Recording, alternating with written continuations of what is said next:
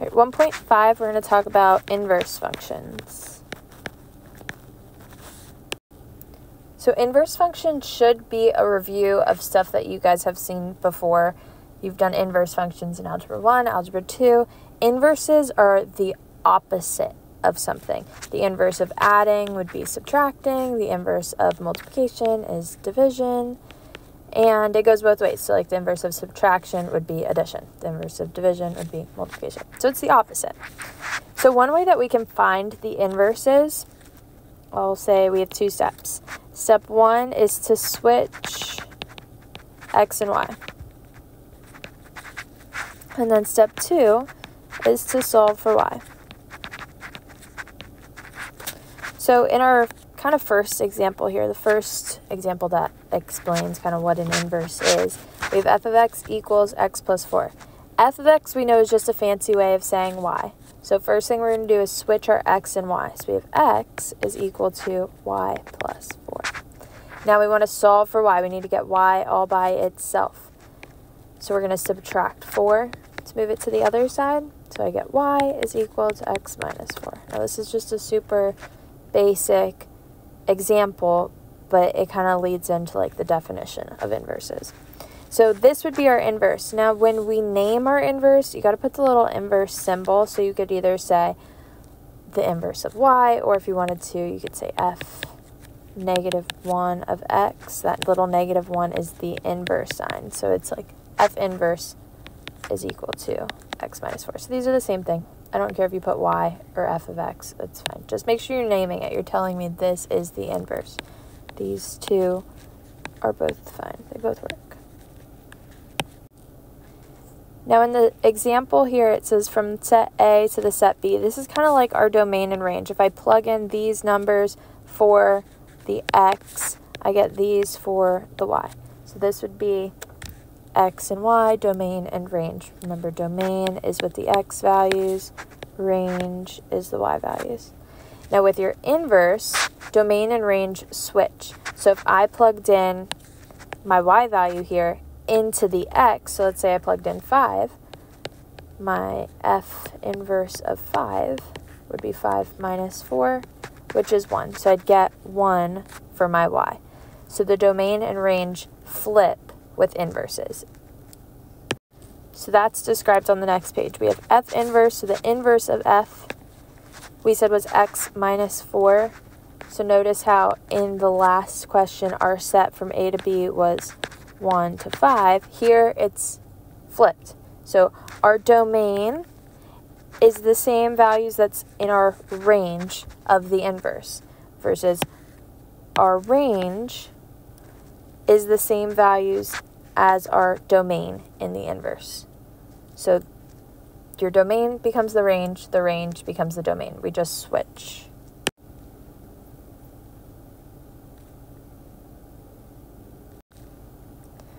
So when you're finding the inverse, you're doing like the opposite of the math that you're doing in your original function. So you're undoing everything in your original function to find the inverse. So the math is just going to be the opposite. If you're adding in one, you're subtracting. But the steps are important. It's not just all like opposite things that are going on. The order matters.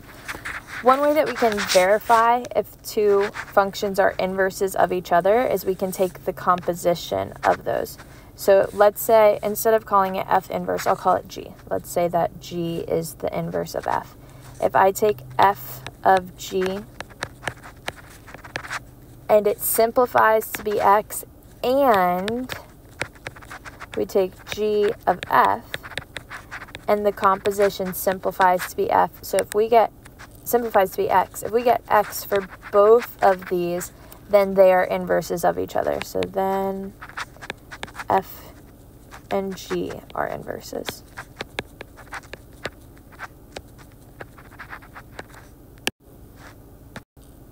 So in example one, it says find the inverse of f of x equals 4x. So I'm going to change my x and y. So f of x we know is a fancy way of saying y. I'm going to make that x and make my x y.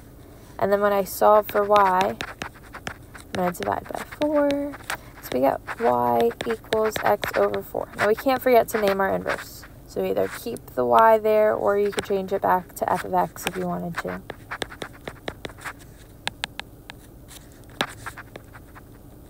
So f inverse would be x over 4. Now it says to verify that both f of f inverse and f inverse of f are equal to the identity function. So let's find f of f inverse. So I'm going to take the inverse and plug it into the x in my f function. So I have 4 times x over 4. When we simplify this, we get 4 over 4, 4x over 4, which would just simplify to x. Let's do the same thing and find f inverse of f of x. So I'm going to now take f of x, so f of x is on the inside, take f of x, plug it into the inverse. So we have 4x over 4, which would simplify to x. So because we get the identity function for both of them, we get just x, then we can say yes, they are inverses. This is how we verify that they are inverses of each other. Next page just talks about like the formal definition of an inverse function. So it just says that same thing we were doing before. In order to be a function or to verify that something's a function, you'd have to take the composition f of the inverse of f and it simplifies to x, same as inverse of f of f would simplify to x. Important here at the bottom, it says if the function g is the inverse function of the function f, it must be true that the function f is the inverse function of the function g. So then you can say that f and g are inverse functions of each other. So you can't have a function that's the inverse of another one without them being inverses of each other. Example 2 says, which of the functions is the inverse function of f of x? Let's find the inverse first, and then we can verify which one of the two is the inverse of it. So I'm going to switch my x and y. I know f of x is just a fancy way of saying y, so that's going to turn into x, and x changes to y. So x is equal to 5 over y minus 2. Now I need to solve for y. So I have to get y out of the denominator here. So you can either cross multiply or multiply both sides by y minus 2. So I have x times y minus 2 is equal to 5. Again, gotta get the y all by itself. So now I'm to divide both sides by x. So y minus 2 equals 5 over x and add 2. So y equals 5 over x plus 2. This is our inverse. Last step you want to do is always just name it as the inverse. So this matches function h. So h would be the inverse. Now to verify, just to be super duper sure that we did it right and to verify that f is the function, f is the inverse of h and h is the inverse of f, that they're inverses of each other we can find f of h. And we know that that's going to simplify to x. We also have to find h of f and know that that's going to simplify to x too. So I'm going to take my function on the inside, so that would be h, and I'm going to plug it in to my function f, which is that original question up here. I'm going to plug it into the x in f. So we have 5 over 5 over x plus 2 minus 2. Now you have to be super careful when simplifying. If you're just adding and subtracting when you have parentheses, you can get rid of the parentheses. So that plus 2 minus 2 cancels. So this would simplify to 5 over 5 over x. When you have a fraction in a fraction, you can keep, keep change flip. So keep the top change multiplication, and flip the bottom to x over 5. When we multiply this, we'd get 5x over 5, which simplifies to just x. Perfect. That was our goal, was for it to simplify just to x. Now let's do h of f of x and see if we get the same thing. So now I'm going to take my inside function, which is f, and I'm going to plug that into h. So we get 5 over 5 over x minus 2 plus 2. So let's simplify. When we have a fraction and a fraction, keep change flip. Keep the top, change multiplication, the bottom flips to x plus x minus 2 over 5. 5's cancel, so this would be x minus 2 plus 2. Or 2's cancel, so it would simplify just to x, which was our goal. We needed both of these to simplify just to x. Now this is all just extra work. It's not really asking you to verify, but that's how you would verify. You need both of these to be true if you want them to be functions. But really, for this one, it's just asking which function. You need both of them to be true in order for them to be inverses of each other. But you, this question was just asking, is the which of the functions is an inverse? We found the inverse, and that would just be h. So again, everything down here is just extra stuff. But we just did it just to show you guys how to verify. Next, we're going to find the inverses graphically. So we're going to graph our two functions and see if they are reflections of each other in the y equals x axis, I guess you could call it. So let's graph. We've got two lines here, so it's super straightforward to graph. My first line, I'm going to start by graphing my y-intercept at negative 3. And then our slope is 2, so we're going to go up 2 to the right 1. You can put another point if you want. Up 2 to the right 1. Once you have at least two points, you can connect your dots with a straight line. So that would be our f of x. Now for the inverse function, we're going to do the same thing just be careful here. It's not as straightforward as y equals mx plus b because if we distributed, this would be 1 half x plus 3 over 2.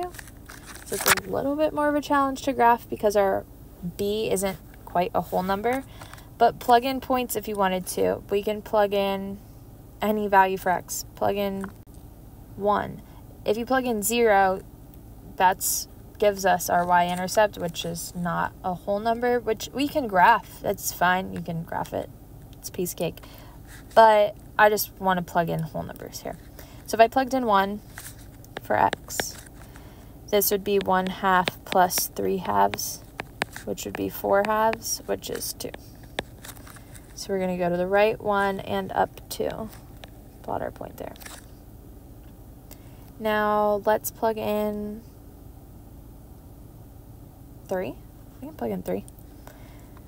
So we have 3 over 2 plus 3 over 2, which would be 6 over 2, which is 3.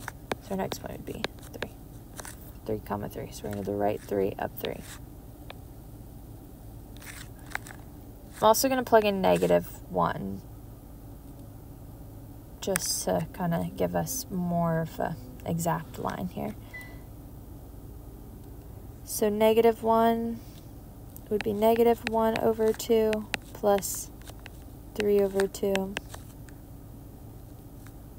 Which I'm plugging it into this. You could totally just plug it into the original one too, and it would probably be easier. But we get 2 over 2, so negative 1, comma 1. So to the left, negative 1, up 1. So now we've got three points. Again, you really only need two to graph your line. We can graph it. So this is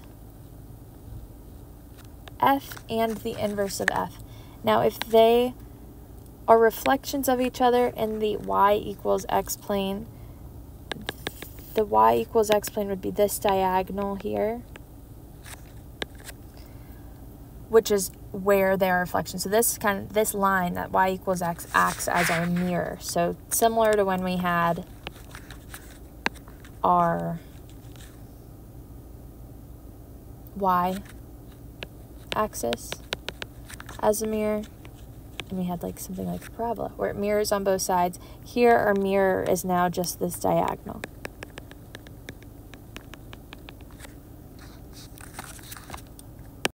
So yes, these two lines are reflections of each other in the y equals x axis.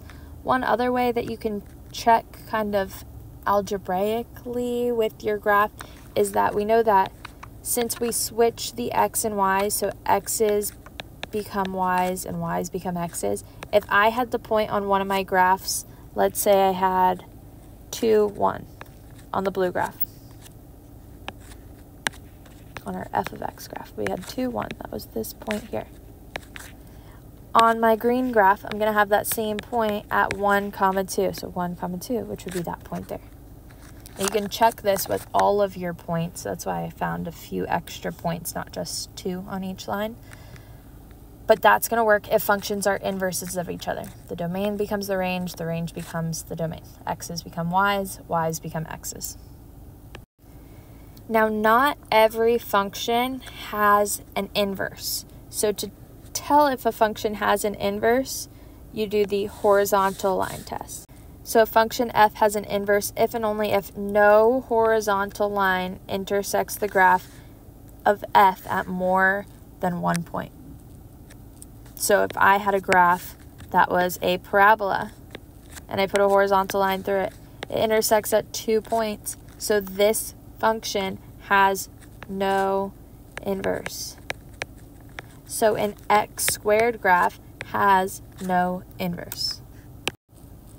So next page just talks about the same stuff. If no horizontal line intersects the graph of f at more than one point, then no y value is matched with more than one value. So then it would be a function. Similarly, a function f is one to one if each value of the dependent variable corresponds to exactly one value of the independent variable. A function f has an inverse function if and only if f is one to one. So you can only have one value from the x that matches with one value from the y. So it doesn't work in a parabola because we have, let's say this was, I'll say 2, and this is 4. I guess that would work. So if we plugged in 2 into an x squared graph, we get 4. And if we plug in negative 2 into an x squared graph, we get 4. So this function would not be one-to-one. We've got two x values that correspond to the same y value. So that's why x squared is not an inverse, or has no inverse.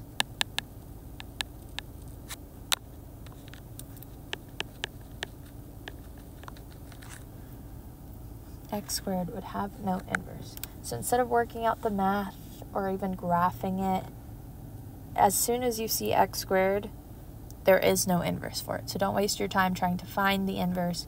There is none. So this table kind of says the same thing that I just showed you with the graph. If we have an x squared and we had the same value for two different, same y value for two different x values, if we found the inverse of it, our inverse would not be a function, so there just is no inverse. So if we had 4 for x, it gives us two different y's. So it doesn't work out for finding the inverse. So example 5 says use the horizontal line test to determine whether each function has an inverse function. So we can graph it to do the horizontal line test. With an x cubed graph, our graph kind of has this shape to it. And then if we subtract 1 on the outside, we'd go down 1. So our x cubed minus 1 graph looks like this. Well, if I put a horizontal line anywhere through this graph, it only touches at one point. So this would have an inverse. So we can say, yes, it has the inverse to determine whether each function has an inverse. So yeah, it does. It's not asking us to find it, but we could find it if we needed to. B, we see that we have an x squared. If we put that on a graph, we have a horizontal line that goes through two points of our graph here. So this does not have an inverse. No inverse. Just for extra practice, let's find the inverse of f of x. So we're going to want to switch the x and y. So x equals y cubed minus 1. I'm going to solve for y, so add 1 to both sides. x plus 1 equals y cubed. To get rid of that cubed, we're going to do the opposite. So we're going to take the cubed root. So now y, or inverse of y, because now we got y all by itself, is the cubed root of x plus 1. So that would be our inverse. Or instead of calling it y, you can call it inverse of f. Either way works. Next page has the guidelines for finding an inverse function. So step one, use the horizontal line test to determine whether f has an inverse. You don't want to find the inverse and then to find out that it doesn't even have one. So first, step one, figure out if it has an inverse or not. Then in the equation, for f of x, replace f of x by y. Interchange the roles of x and y. So we just switch x and y and solve for y. Solve for y. And then replace y by f inverse of x. So step three, I'm going to say name the inverse. Got to put the little inverse symbol. So whether you put it on the y or change it back to f of x, Either way is fine, but you have to put the inverse symbol. Step five, I would say, is just extra work that you don't really need to do, but you can verify that f and f inverse are inverses of each other by finding the compositions of them and seeing if it equals the identity, so that it just equals x. All right, example six, let's find the inverse. We want to find the inverse of our function we're going to switch x and y. So f of x becomes our x and x becomes our y. Step one that I kind of forgot to do, make sure it has an inverse. The x isn't x squared, so we're good. We can find the inverse now. So x equals 5 minus 3y over 2. Now we want to solve for y. Got to get y all by itself.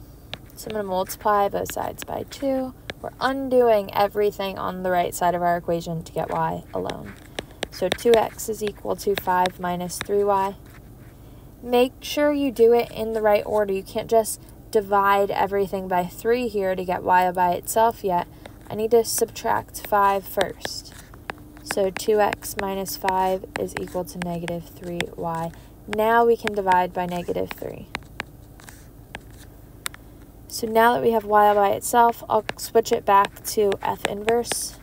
So f inverse equals 2x minus 5 over negative 3. Or if you wanted to simplify it just a little bit more, I think WebAssign would take this as an answer, but sometimes like you can simplify your fraction. So if you wanted just to divide out that negative or divide the negative into the top, that would be fine. It'd be negative 2x plus 5 over 3. Or if it like simplified even more, make sure you know that negative 2x over 3 plus 5 over 3 would be the same thing. You would just divide both terms on top by your denominator. So either way works for any of these three. I think WebAssign would take the first one as an answer, and I would take that on the tester quiz. But just know that these are all the same. If you guys have any questions, you can email me. The WebAssign is going to be due the day after tomorrow, so that would be Wednesday. So if you guys have questions, you can ask me Tuesday. Um, but I'll also post the test review for you too, so you can work on the 1.5 WebAssign and work on the test review. But don't forget to turn in the notes.